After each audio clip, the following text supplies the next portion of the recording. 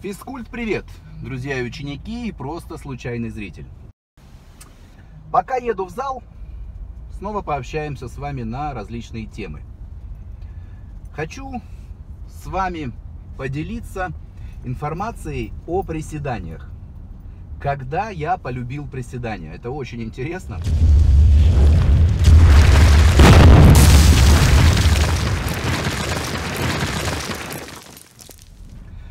Вы знаете, что в моих статьях, книгах, видеороликах я вам постоянно говорю, что приседание это лучшее упражнение. Так оно и есть. И начинать его нужно разучивать с первых шагов, как вы пришли в тренажерный зал, если вы хотите грамотно и целенаправленно совершенствоваться. Но я очень не любил приседания. И где-то, наверное, первые пять лет я практически, практически их не делал. Может быть, очень редко. Не любил просто вот. Но делал очень много становые тяги. Когда же я полюбил приседания? А полюбил я приседы, когда мне их запретили делать. Когда у меня появились сильнейшие боли в области позвоночника, когда я узнал, что у меня грыжи, протрузии, но сразу же здесь хочу сделать ссылочку, я об этом не раз уже говорил, это у меня не из-за тренинга. В принципе, из-за тренинга у меня нет практически ни одной травмы. Все мои травмы получены в быту. Так вот, когда по-настоящему мне пришлось отказаться от приседаний, по крайней мере на период реабилитации, который у меня затянулся очень надолго, я три года доверял врачам, доверял э, им в плане своего здоровья, потому что у меня был доступ на тот момент к лучшим врачам в своем городе. Но три года меня лечили, лечили. И хочется сказать, да, как в том анекдоте, что вскрытие показало, что больной умер от вскрытия. Было примерно так же. Мне становилось только хуже, реально хуже. Боли, прострелы появлялись уже в разных частях тела. То есть, если мне болело через ягодичную мышцу по бицепсу бедра вплоть до подколенки левой ноги, то здесь мне уже простреливало и очень сильно стреляющей болью в правое колено. Причем, когда я ехал за рулем было это очень опасно, очень неприятно. Ну и что? Вы знаете, я решил заняться собой самостоятельно. Изучил очень много информации и потихонечку стал применять ее на практике, на себе. Потихоньку, потихоньку, когда ушли сильные боли, я добавил фронтальные приседания. Приседал с пустым грифом или с 40 килограммами. Довольно-таки продолжительное время. Обо всем об этом вы можете почитать в статьях моих, я рассказываю подробно. И вот это, запрет этот вызвал у меня любовь к приседаниям. И сейчас, обращаю ваше внимание, все мои советы и рекомендации помогли уже больше, чем тысячу человек. Вы можете об этом почитать в комментариях, под постами в Инстаграм, ВКонтакте, в YouTube под видеороликами, посвященных данной тематике. И, естественно, очень много людей пишут мне в личку. И я сейчас не испытываю никаких проблем, друзья, с поясницей, с позвоночником, с болями. Естественно, только если очень долго не сижу, к примеру, за рулем, не еду куда-нибудь в Майами или еще куда-нибудь, где мне нужно 4 часа сидеть за рулем. Или если очень долго засижусь, монтируя тот или иной ролик. Статьи пишу и книги я пишу все лежа. Лежа для меня идеальное положение. Но вы видите, я приседаю за 200, тяну за 200, и у меня нет никаких проблем. И еще я вам скажу, что когда я приседаю, именно когда я регулярно приседаю, позвоночник испытывает кайф. Я как будто разгружаю его приседаниями. Почему я это все начал вам говорить? Потому что в очередной раз мой оппонент, как он сам себя называет, не знаю почему, хотя я уверен, что как это было с Юрой Спасокукотским, у нас наверняка очень больше общих советов, рекомендаций, нежели каких-то противоречий. Леонид Егоров с канала «Реальный культуризм» снова несет какую-то чушь по отношению ко мне. Я уже не раз говорил, что я уважаю этого человека именно за то, что он развивается и физически, и умственно. Я вижу, он читает и философ, философов, э, различные книги, что довольно-таки похвально, достойно уважения. Но Леонид почему-то очень любит говорить за других людей. К примеру, вот в последнем ролике буквально он говорит о том, что когда я говорю о гормонозаместительной терапии, которая практикуется во всем развитом мире, к сожалению, не в странах третьего мира, таких как Россия и Украина, хотя тоже потихонечку находятся грамотные специалисты, которые это объясняют.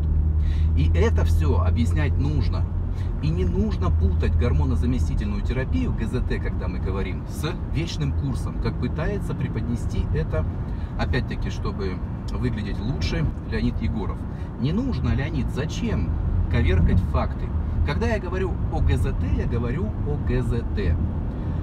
О вечном курсе вообще речи не идет. И когда мы снимаем какие-либо видео подобного характера, да, я всегда говорю, что эти видеоролики помогут молодежи понять, что им совершенно не нужно употреблять никакой фармакологии. Это действительно вредит их здоровью. Но с возрастом, к сожалению, так устроен современный мир, современное общество, здоровье. Гормонозаместительная терапия необходима и мужчинам, и женщинам. Она качественно улучшает жизнь. Не замедляя и не укорачивая ее, наоборот, продлевает жизнь. Естественно, когда вы все это делаете под присмотром грамотного специалиста. Не нужно путать грамотное лечение, грамотное ГЗТ по медицинским показаниям с самодеятельностью. Это первое. Второе, почему-то Леонид утверждает, а как он, наверное, лучше меня знает, как я живу, что у меня до сих пор проблемы с позвоночником и что я калечу людей. Посмотрите, друзья, на отзывы. А теперь давайте вернемся снова к последнему ролику Леонида. К сожалению, человек, называющий себя знатоком анатомии и биомеханики допускает смешные, нелепые ошибки, называя подвздошную мышцу и поясничную мышцу подвздошно-поясничной. Любой грамотный специалист вам скажет, что это две разные мышцы, хотя и имеющие одно общее крепление. Да, такое тоже бывает. Почитайте, и вы увидите, что когда-то один французик э, назвал эту мышцу подвздошно-поясничной, и с тех пор пошли проблемы. Нельзя. Именно из-за того, что люди не понимают этого факта, возникает огромное количество проблем. Подвздошная мышца и поясничная – это две разные мышцы. И хотя они имеют одно общее крепление, нужно понимать, что они действуют, да, как игроки одной команды, но не как синхронисты в синхронном плавании, да? А как футболисты, баскетболисты, хоккеисты, как индивидуальные игроки, хотя и играющие за одну команду. Это нужно очень понимать. Друзья, если хотите более четко все это понимать, у меня есть отдельные статьи на эти темы. И я вам настоятельно рекомендую зайти на мой сайт hmgym.ru, почитать об этом, вникнуть. Особенно, если у вас есть проблемы со спиной, особенно, если вы инструктор, особенно, если вы не хотите, чтобы у вас возникли какие-либо проблемы. Еще открою вам один маленький секрет, который, я уверен, вообще практически никто не знает. Поясничных мышц на самом деле две. Большая и малая.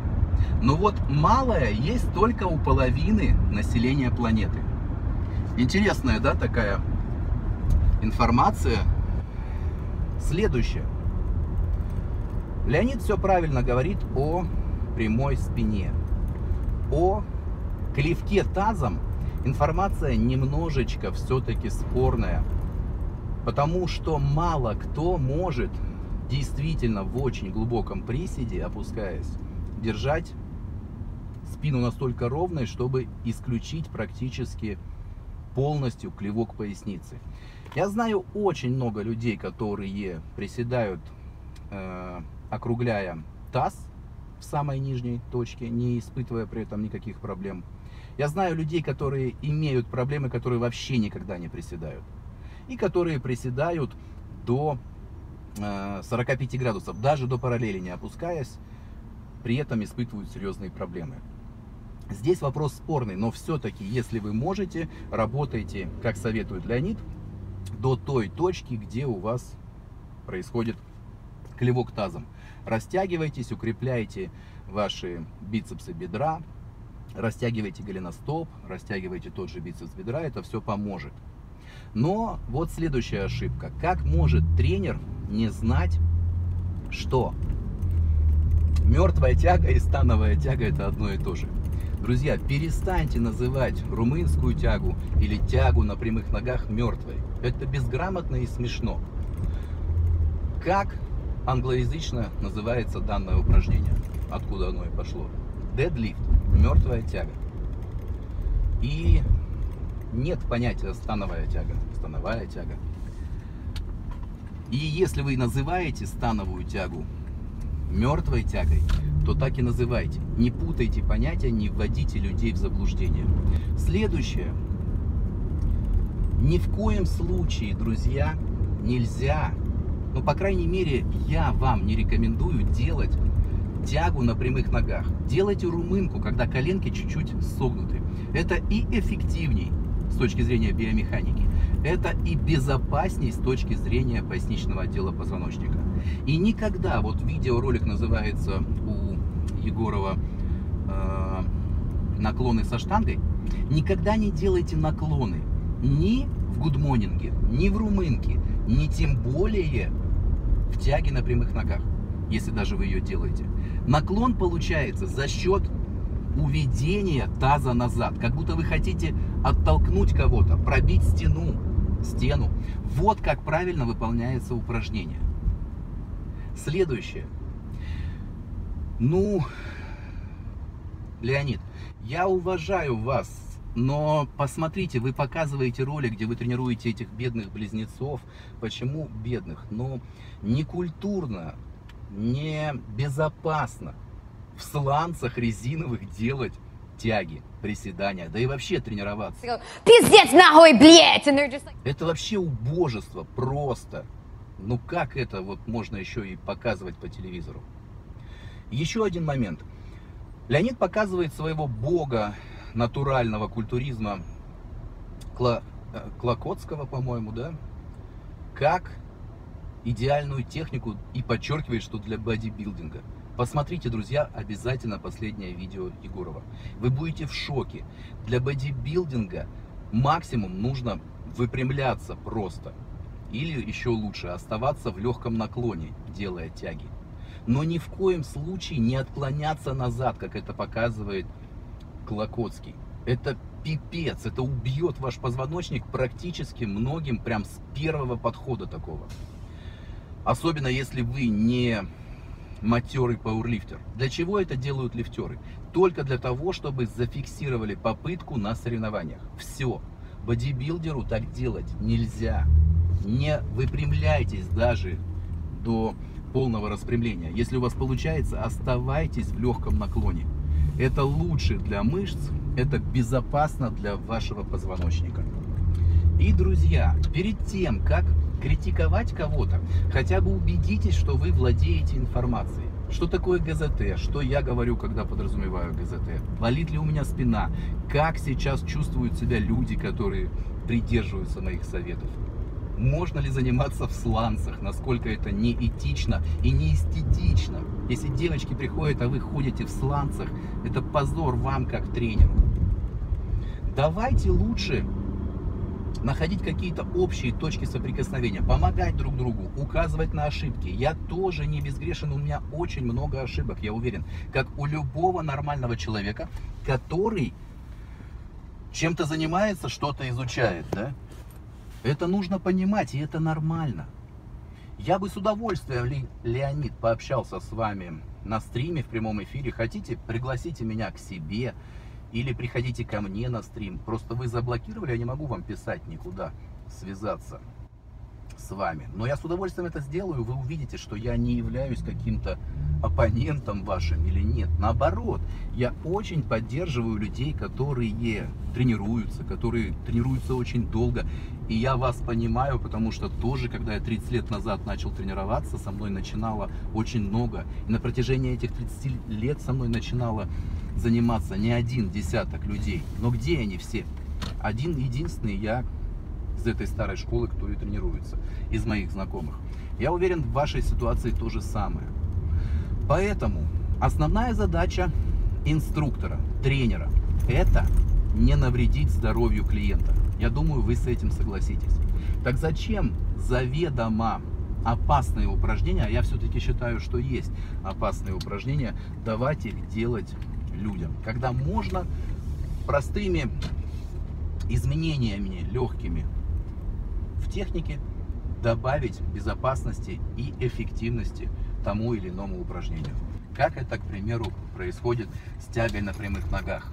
Я рекомендую согнуть слегка коленки, слегка, что снизит нагрузку с поясничного отдела позвоночника и ни в коем случае не убирать штангу от ног. Чем дальше вы уводите штангу от ног в таком положении, тем это опаснее для вашего здоровья. Друзья, пишите в комментариях обязательно, что вы думаете по всем этим вопросам. И что вы думаете по поводу того, что говорит Леонид, что вы думаете по поводу того, что говорю я. Хотите ли вы увидеть нас, наш общий стрим? Если хотите, пишите об этом Леониду. Я с удовольствием сделаю с ним такой стрим, если он, конечно, захочет. Всем пока. Леонид продолжайте в том же духе, и все будет хорошо. Просто нужно более, менее критично подходить и к себе тоже, самокритично, и тогда, я думаю, и у вас, и у меня будет и больше подписчиков, и больше поклонников. Не уподобляться некоторым блогерам, которые хаят, обсирают, обливают друг друга помоями. По-моему, это недостойно вообще людей, тем более таких взрослых грамотных, надеюсь, людей, как мы с вами. Я знаю, у нас есть общие подписчики, что говорит о том, что, по крайней мере, люди, которые смотрят вас и смотрят меня, находят полезные советы, рекомендации и что-то общее. И между нами не так много различий, как вы думаете. Всем пока, друзья! Напомню вам, что вы можете приобрести две мои книги, отдельно для мужчин, отдельно для девушек, о всех тонкостях тренинга, питания и восстановления. Обязательно, если хотите разбираться во всем этом, напишите мне в личку, и я отвечу вам, как вы можете это сделать. Особенно, друзья, если вы являетесь тренером, инструктором, вы просто обязаны изучить эту литературу. Соглашаться с ней, не соглашаться, это будет уже ваше личное дело. Но если вы взяли на себя ответственность, смелость тренировать людей, вы просто обязаны изучить эти книги. И обязательно, друзья, делитесь данным роликом в своих соцсетях. Это лучшая благодарность для меня и для канала. Ставьте палец вверх, если вам понравилось. Если не понравилось, пишите, что вам не понравилось, и смело ставьте дизлайк. Отдельная просьба, кто уже опробовал на себе в молодости или сейчас проходит эту методику, расскажите, поделитесь в комментариях с вашими достижениями, вашими результатами, ощущениями. Я уверен, что подписчикам и всем, кто смотрит данный ролик, это будет очень и очень интересно. Ну что, друзья, не буду вас больше грузить разной информацией. Не забывайте, что вы можете присылать свои вопросы в комментарии. И я обязательно на все вопросы отвечаю, вы это видели. А на некоторые, как вот на данный, даже снимаю видеоролики. Спасибо за просмотр, увидимся, как всегда, в тренажерном зале. Всем сухой мышечной массы и силы без травм.